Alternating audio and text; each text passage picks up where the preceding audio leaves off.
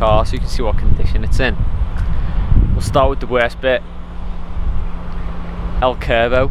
Very disappointed. It's not that bad. As far as curved alloys go, I have curved worse alloys than that. Not this car. A cheaper, lesser, a lesser car. Um, But once you know you've done it, yeah, once you know you've done it, it's a kind of a slippery uh, slope, isn't it? You're just like, oh, I'll just sod it. I'll just curb all of them. Because then they match. As far as the lease goes, I don't think I'm actually going to do anything about it. Like, I know some people worry about, like, what's the charge going to be when the car goes back. Either I won't get charged for it because it's that small, or the fee will be something like, um, I don't know, it should be like £40, £50 and at least then I know that it's getting done to the proper standard. Now I could take it to like one of these alloy wheel refurbishment places. I could spend 50 quid. But if they don't do a good enough job and Volkswagen Finance think that's not good enough, they'll charge me again and then you're paying anyway. I've paid twice. Most people, I think, just kind of leave stuff like that. As far as the body goes, it's pretty mint. The only thing, there is a couple of marks on the white paint uh, from like chip marks and stuff, like stones. But I imagine they probably polish out if we put a bit of elbow grease into it. Yeah, like all the gloss, all the gloss black stuff, that's polished up really well. Like just from like, it was a crap job really. I just used a jet washer and then like a chamois. And as you can see, that's what's come up. So if I actually put some like polish on it and stuff, Yeah. it'd come up even better.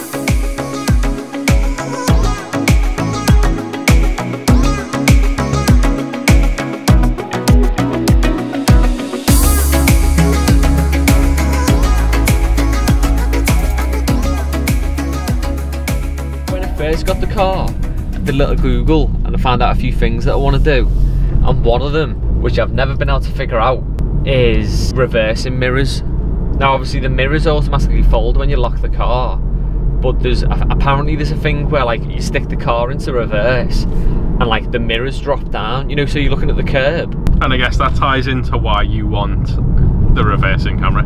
Yeah, and also it's pretty cool. I think it's like, like that's pretty cool. Yeah. You know, it's a bit like Transformer, isn't it? So yeah, if anyone knows how to set up the reversing mirror on the Golf, let me know.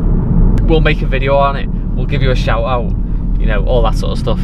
Also, if there's any other tips and tricks you've got, like secret menus, things that you've done to set it up in your own special way, stuff with your phone, stuff with CarPlay, that'd be cool. Comment, we'll give you a shout out. The pipes, if we shot this video a couple of days ago, they would have been black.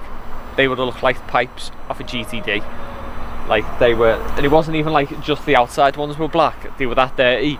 All four of them were black, and I haven't really razzed it that much. Like I've done it a few, times. It's only really been using the outside pipes. So what I did was I used this like household product. I'll bring it in and we'll do a video on it. And it's called Shadazzle, and it's like a pad, and then like this like like white powdery type stuff. You put a bit of water in it, and then go over the, the chrome, wipe it off, and that's what you get after about 10 minutes work. The only things that have been left is like these tiny little like pitted marks there.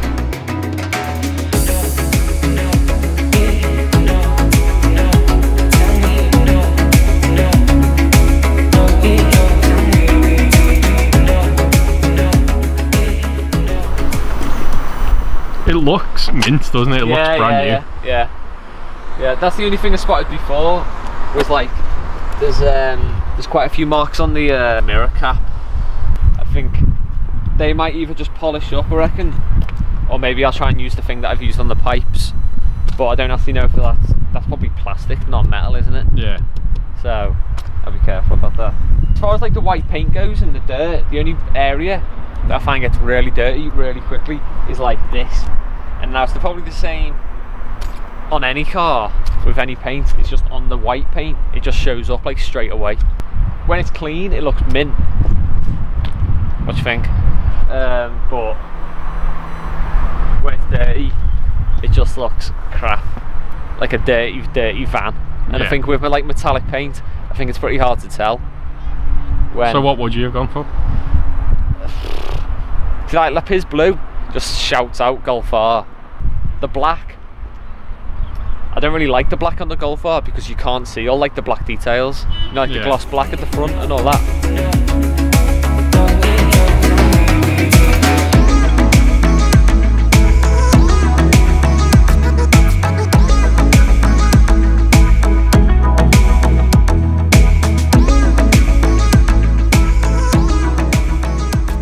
car about 10 11 months I've done almost 8,000 miles if we talk about the lease, my lease is 8,000 miles per year. So I'm going to go over it by a thousand or two, I reckon. Which isn't that bad because I knew I was going to go over. Um, and I've actually driven it quite a bit. So what you can do with a lease is halfway through your contract, you can phone up the finance company, especially with Volkswagen Finance, and ask them to give you more miles per year. So say uh, all of a sudden you change jobs and now your commute is like 100 miles away. You don't really want to be stuck in your 5k contract Yeah. for like two years. So you can phone them up and ask for like an increase in mileage and they'll give you a quote rather than having to pay all the sum at the end when you do like the excess mileage. But I did that and the deal wasn't that good because there was like a um, a 60 pound admin fee. So it just worked out better if I just put the money away every month yeah, and then pay the excess fee at the end. And sometimes they will give you a better deal. That's going off topic. Let's go. Yeah, so like I said, I've done 8,000 miles. What have we done with the car?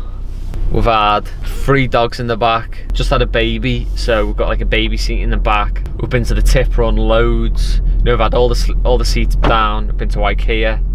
The car's been used like a proper estate. Been my daily driver. I think my commute was like 30 miles every day. Yeah, it feels like I've been in the car non-stop. You know, some people say, oh, where are you going to get a lease car just for the car to sit on your driveway? That definitely hasn't been the case.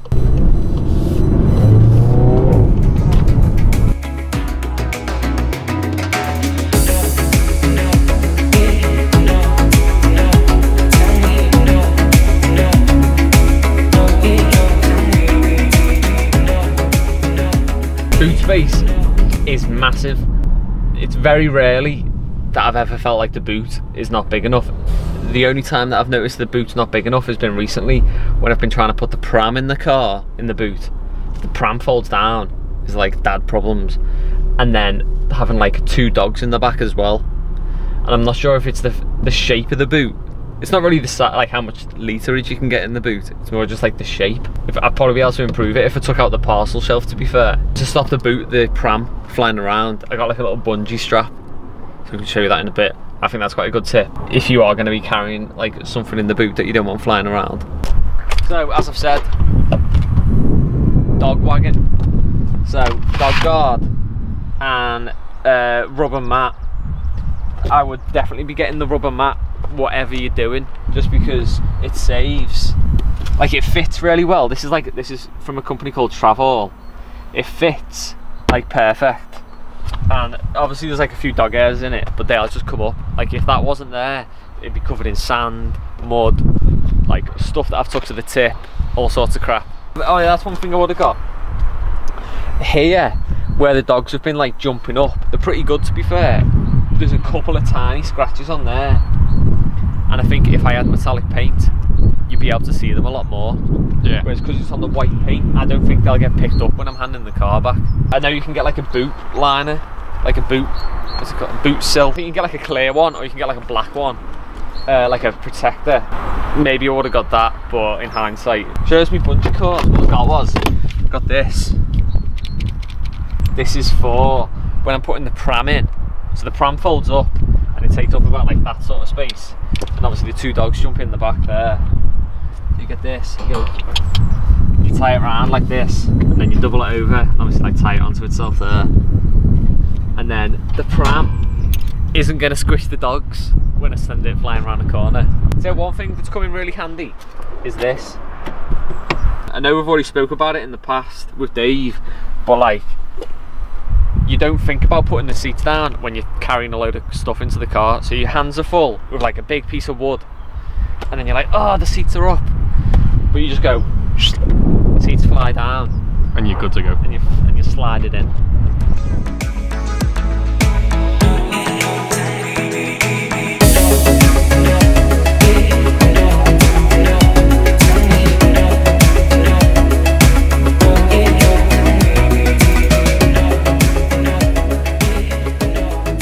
Like I said, I've had a baby, so I've got an ISOFIX base. Uh, so what that does is just slots into the two ISOFIX ports and then the car seat just clips in and you don't have to mess about with the seatbelt every time you're doing it. And like we've got a couple of those because obviously like my wife's got a car, the mother-in-law's got a car, so we've got a few bases, but just one car seat for the baby. So if you haven't got kids, if you haven't got kids, you've probably just completely switched off and skipped, and you're not watching this video anymore. But if you have got kids or you're about to have kids, it might be interesting. These are questions we get asked. Yes, You didn't have to go to this much trouble. You didn't have to have a kid just for this I video. did. I did that for the tube.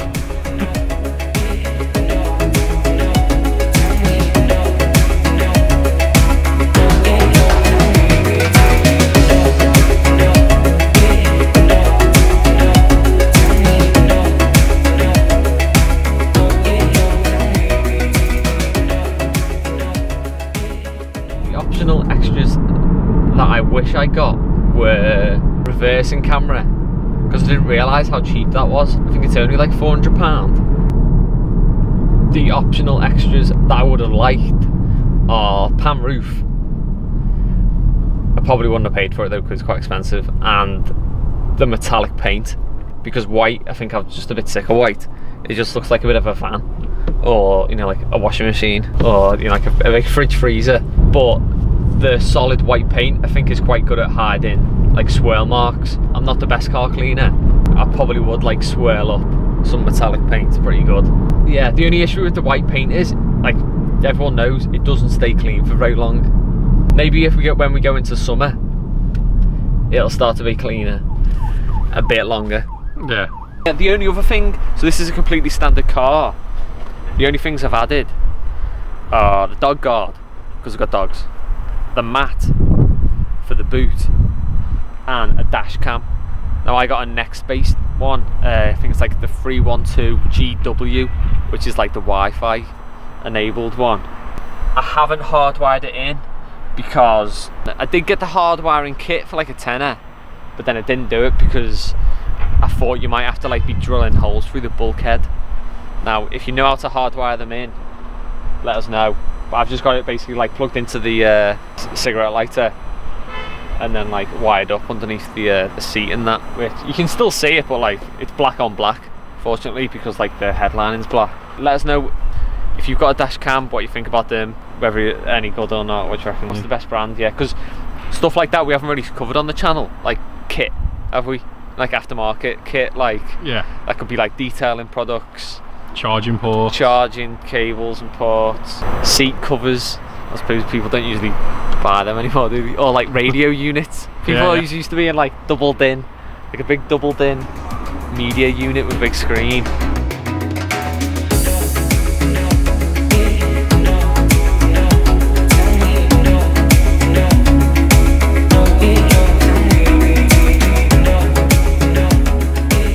How's the car been driving?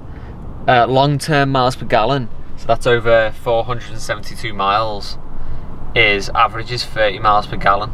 Now when I first got the car, and we were doing some videos with Dave, I was saying I was getting like 35 miles per gallon. I think the reason why that's a bit lower than that is because the weather's been worse and traffic in Liverpool hasn't really been that good because they've been doing loads of like roadworks and stuff. Hopefully when it goes into summer and we start to get the warmer weather and the engine's a bit warmer straight away, hopefully that should creep up to like 35. Maybe we'll do another video on that in the summer. I wish there was a way of finding out your MPG over the whole life of the car because obviously long term makes it sound like you're gonna have the data for you know 8,000 miles. What's the what's the MPG over 8,000 miles?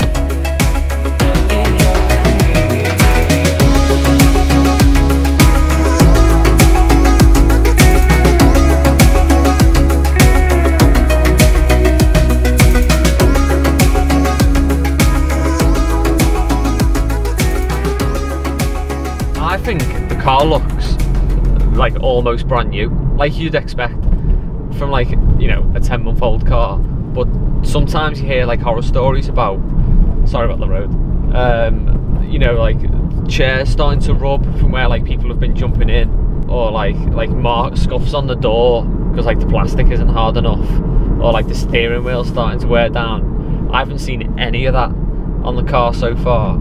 There's like very little marks on the exterior and the interior. Like as, soon as you give it a good clean and a good hoover, it's mint. The only part that I have seen quite a bit of wear on is the floor mats, and especially my one, the driver's one, the colour seems to have like it's a, it's gone a lot lighter very quickly, as if it's been like wet and then dried and then wet and then dried, and then the colours just run out of it. And they seem to have buckled a bit, obviously from where I've had like my heel in the in the mat. I like they've worn down quite a bit, yeah. Do you think you would have gone for the rubber mats if you'd have known that? I think so, yeah, and I do like the idea of those rubber mats because you can just pull them out, get a hose on them, get them down. Especially if, like, like me, we're always going to the beach with the dogs. Like, I've got a rubber mat in the boot. We'll get a shot of that. That's like an aftermarket one. Um, I definitely recommend getting one of them, especially if you're going to use the boot on the estate. Just because it saves the felt in there from getting worn down, and then as soon as that's been worn down, that's it then, isn't it? I like the idea of those rubber mats. Maybe we'll get a pair. Interior wise, I think it looked mint, apart from the mats. So we'll show you now. The one thing that has happened, which I hate, like, I know where the hole is, as the bishop said to the actress. You put the key in, but you always manage to get a few little marks there, don't you? Yeah. Okay, so like I said before, the interior I think looks mint. It's just been hoovered like a bit, like a two minute job. The steering wheel still looks good. There's hardly any scratches on it. The mats, they're a different story. I don't know if you can pick it up on the camera, but they just look a bit faded. You can definitely pick that up, yeah. Yeah. And there's like, when you take it out to hoover, there's like a proper dint where like my heel's been sitting. And like, I'm not the heaviest guy, and I've got the biggest feet. So yeah, maybe I, I might get some rubber mats. Like the seats, like there's very little wear on like the side where you slide in. I reckon something like that's proper prone. So that sort of thing, because obviously it sticks up so much. Yeah. Like, you're just going to keep catching it and catching it. And I've been jumping in and out of this car like three or four times a day, basically, for like 10 months. Even on the door, like I've been kicking the door all over the place. Like, Every time you get in. every time I get in, just for good luck. Yeah, It does look, look looks good. good.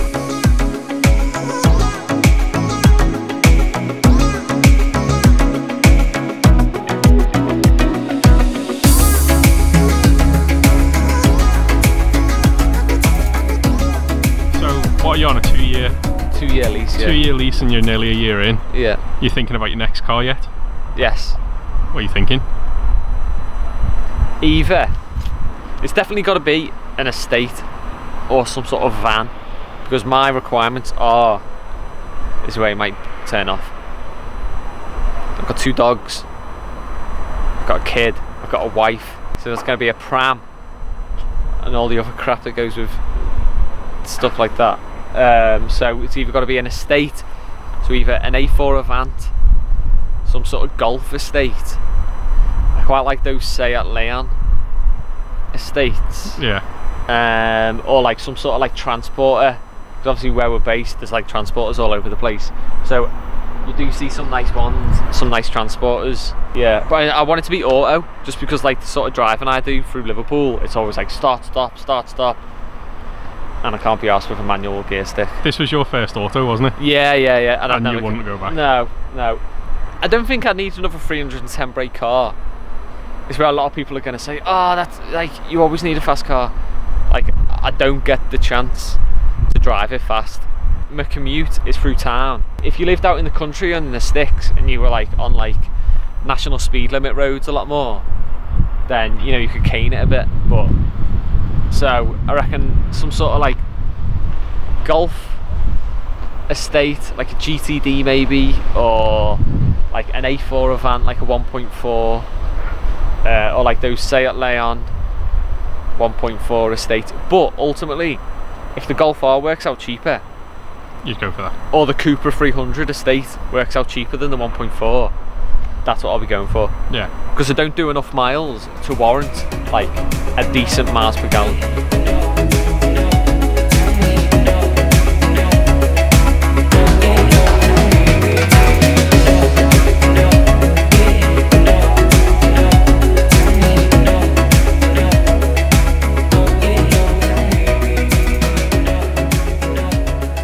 Now, this video is probably a bit more different than our other videos. on our channel, especially recently. We've had loads of Geneva stuff. We've had loads of A4 Black Edition. We've had loads of Golf GTE. What other stuff have we done? That RS5 let us know what sort of videos you want to see on the channel you know do you want to see like fleet videos like where we go to our fleet center and we just talk about all the crap cars that are there like Peugeots and Citroens or do you want to see more stuff on like specific cars so maybe we get a car for a few days and we smash like a load of videos in or maybe you want to see like more like dealership videos so we'll go to a dealership and see what cars they've got in stock like demos like the RS5 or videos like this yeah because I think we're not Top Gear. I'm sure the the the stable fam might disagree and say, no, you are as good as Top Gear, but maybe Specky Dave. Maybe Specky Dave's as good as Clarkson. We're just driving back to stable. I think there's an RS5 in here. We're gonna uh, we're gonna go for a peek. I think he'd mind us doing a walk around on his car that he didn't get for us. It's getting driven that as well, isn't it? RS5 Coupe. Coupe! Doesn't this doesn't he know the Sportback's the new one? He's probably looking out of his window. Thinking, There's the stable lads! there's the stable lads, there's the stable mobile. Oh, after we get over this speed bump. See, Top Gear don't have to deal with speed bumps, do they? No. The famous stable turning circle. this is completely random. We're gonna do more videos like this. We want to know what sort of things do you want us to talk about. So if you've got any questions about the Golf, are you getting a Golf? Are you getting a Volkswagen? Are you getting an Audi? Let us know what questions you've got in the comment section below, and either we'll answer them before Dave gets back, or when Dave gets back, then he'll probably do them. Okay, cool. So we're gonna wrap it up here. I think we could talk about it all day and listen to me waffling on. I want to know how to do that reversing thing with the mirrors. If anyone knows how to do that, I'll be grateful and we'll do a video on it. Car cleaning products and also your process. What do you use and how do you do it. We'll try and do a video on the pipes and I'll bring in that tub of Shadazzle. Dazzle. Shadazzle dash cam. Have you got one? What do you think? Tips and tricks for the car. Like have you have you done anything when you've set it up to make it your own? Like with your phone, the sat nav, Apple CarPlay, and what sort of videos do you want to see on the channel? When Dave gets back from his holiday, we'll we'll have a word with him. We'll tell him what's what. We'll get those videos on this channel. And one last thing, I'm not going to ask you to subscribe. I'm not going to ask you to follow us on Instagram. We don't want you. No, we do want you. Oh, to you do want you to subscribe, but we're not going to ask you. We ask don't have to. I'm just going to subtly mention it. Check out the link below where you can find our stable t-shirts. Thanks for watching. See you again soon.